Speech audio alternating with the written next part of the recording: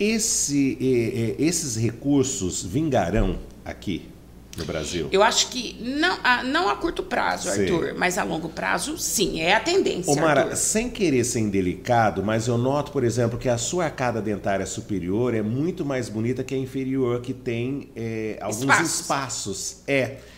É, você é igual o Pitangui? O Pitangui nunca fez uma plástica. Conte pra gente. Ô, Arthur, É. eu fiz já na arcada superior as lâminas de porcelana. Ah, então por isso que tá É, diferente tá mais mesmo. É. E inferior, a indicação é para fazer lente de contato. É. Mas eu me deparo com um problema. Qual é? Quem quer fazer em mim?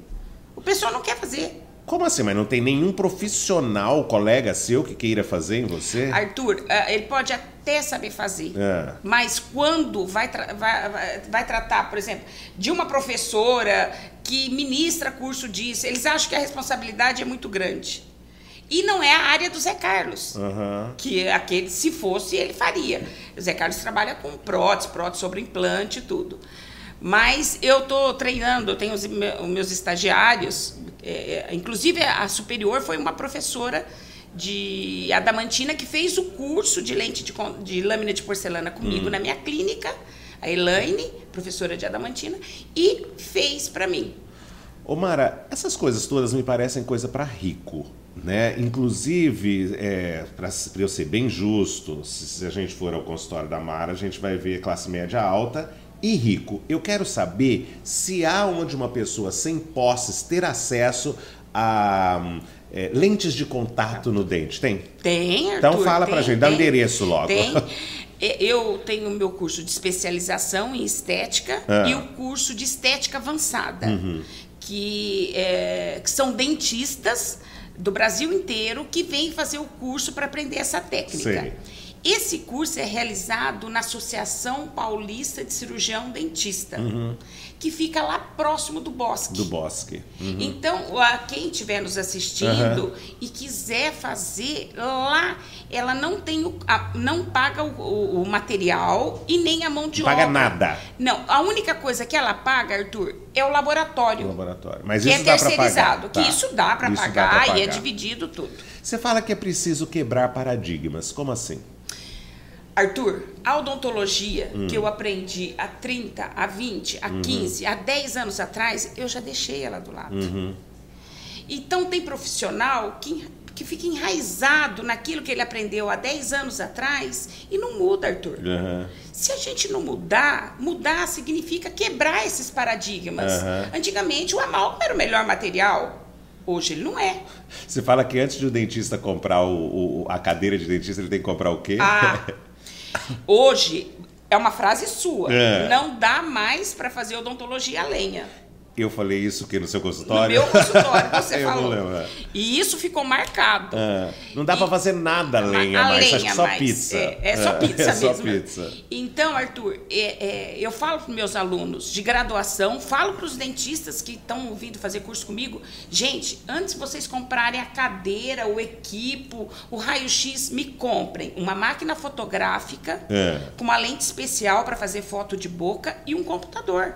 Hoje você tem que trabalhar com imagem. Sim. Você falar para o paciente que ele tem uma cárie é uma coisa, Arthur. Você mostrar Ah, a é cárie completamente diferente. numa tela de 22 polegadas é completamente diferente. Falando em cárie, vamos falar um pouco de prevenção. Fale assim, como é que a gente evita a cárie?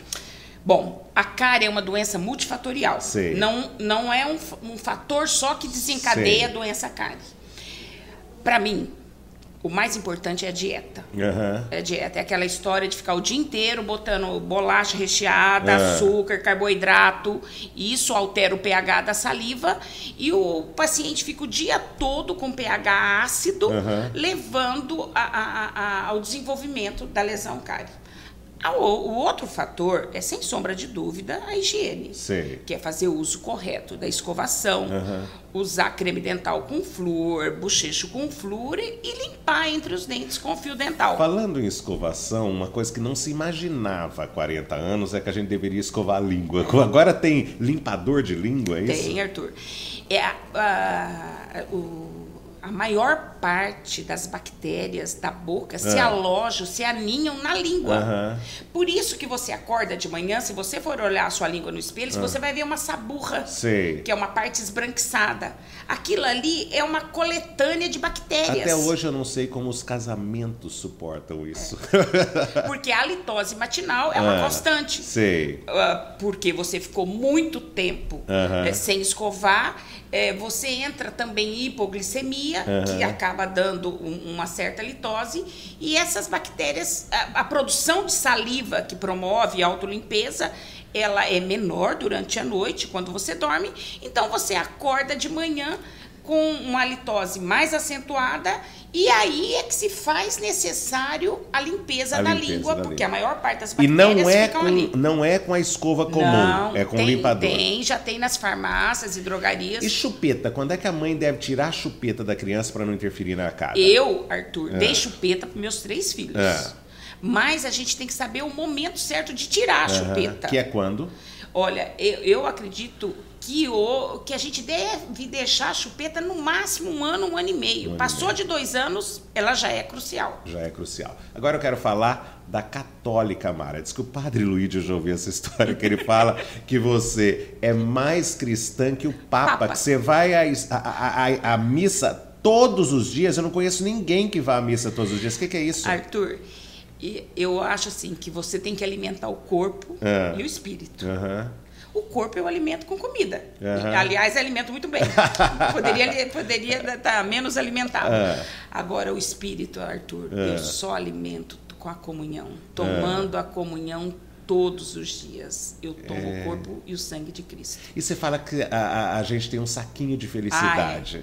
Eu sempre digo, ah, tem duas frases Hum. que eu falo muito nos meus cursos, que, Uhum. que quando a gente nasce, Deus dá luz Hum. própria para todo mundo brilhar. É. O meu brilho não ofusca o seu, o seu não ofusca o meu. Hum. E, e eu digo sempre para meus dentistas, não, não que vão fazer curso comigo, não, não, não queiram crescer falando mal do trabalho do colega. Uhum. Se preocupe com o que você faz, Uhum. com a qualidade do que você faz. Eu sempre digo assim, Arthur, eu vou numa festa, tem 500 convidados. Uhum. Eu conto 10 clientes meu. Sobraram 490 para os outros. É. Então, se preocupe em fazer o teu bem feito. E a minha clínica está lotada. Mas e o saquinho de felicidade? Ah, o saquinho de felicidade é assim. Quando a gente nasce, Deus dá um saquinho de felicidade para cada um. Você tem o teu, eu É. tenho o meu. Ninguém vem para a Terra sem eu, o saquinho eu de tenho a felicidade. impressão que o saquinho de tristeza também, mas tudo bem. vai. É quando você deixa de olhar para o de felicidade. Ah. Aí tem gente, Arthur, que fica olhando o saquinho do outro Ah. e esquece de ser feliz com o dele. Ah, Porque você tem que, tem que ser feliz dentro daquilo que, que, que Deus te proporcionou. E às vezes você fica olhando o carro mais bonito do outro e esquece que o teu também anda. Aham. Esquece de ser feliz. E aquela história, a gente tem que ser feliz na segunda-feira, na terça, na quarta, na quinta, na sexta, no sábado, no domingo. de manhã à tarde à noite, De manhã, né? tarde à noite. Tem gente que espera a sexta-feira para ser Pra feliz. ser feliz. Ah, isso é É, bom. eu sempre digo que a- a- o brilho da segunda-feira para mim é melhor do que no domingo. E você fala que você jamais vai dizer que, que era feliz e não sabia. Nunca, Arthur, eu vou É. dizer essa frase. Eu digo sempre, eu sou feliz e sei que, Que sou. sou feliz. Eu passei uma tarefinha pra você. Eu quero uma qualidade sua. Eu sou uma pessoa, Arthur, muito disponível, gosto de ajudar as pessoas e tenho um espírito de solidariedade muito grande. Defeito.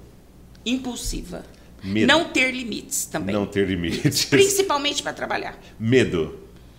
De perder as pessoas que eu amo. O que, que você gosta, assim, agradável? Minha casa lotada. É. Minha casa, família, Arthur. Aham. Para mim, família é algo é, é fundamental na minha vida. Reunir meus filhos, lotar minha casa, fazer comida, eh, ser feliz. E o que, Ser- que é desagradável? Ai, gente indiscreta, discriminação, Arthur. Tem pessoas que acham porque tem dinheiro, esse poderio econômico. Prepotência, né? então. Prepotência, isso O que, que daí é um cliente bom? é aquele que confia em mim. E o cliente ruim é o prepotente? É o prepotente, Arthur. Porque é aquele que acha que porque eu tô pagando, É, eu mando. Eu mando. Para terminar, o que é que você ainda quer da vida? Uma casa cheia de netos, Arthur. É. Netos é um sonho meu, assim como era odontologia estética, é, fazia a faculdade de odontologia, ter netos, eu amo criança, é. É, ter netos é, é, é um sonho. Então, crianças, grande. vamos trabalhar. Natália Maria Fernandes.